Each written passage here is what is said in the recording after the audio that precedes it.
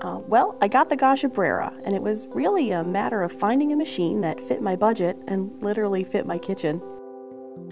I wake up in the morning, and there's my Brera tucked between the microwave and toaster, and it's like, okay, showtime!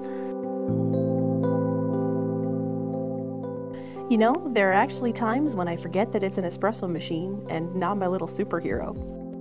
It really saves me in a lot of ways, and I mean, that's really what I was looking for. So sometimes when I'm running out the door, I just don't have time to clean. And that's where the self rinse cycle is great, and so is the standby mode in case I forget. And when the machine really needs you for something, it's got alerts to let you know, so even then I'm covered. The front loading reservoir and dreg drawer are perfect in a kitchen like mine.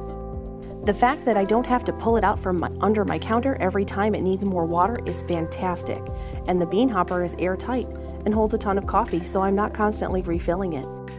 You know, I didn't even know that I needed rapid steam. That is, until I realized how long it takes other machines to heat up after brewing. The Gaggia Brera, a perfect fit for me and my kitchen